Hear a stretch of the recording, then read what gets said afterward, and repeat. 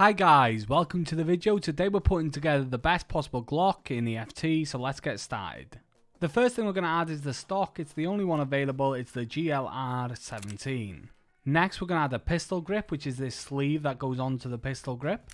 Next we're going to put in a magazine and we're going for the GSGMT.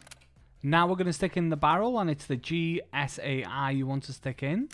Now we're going to stick the receiver and it's the GZT Spartan. And that gives us the option for the sight that we need, which is the RMR. Next, we're going to stick a suppressor on the weapon, but it's not in the usual area. You need to go to the one underneath. And the suppressor we're going for is the GFD917.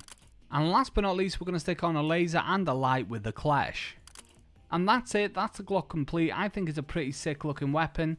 I'm going to leave this one there anyway. If you liked the video, like the video, subscribe if you want to see more. Thanks for watching as always, and take it easy.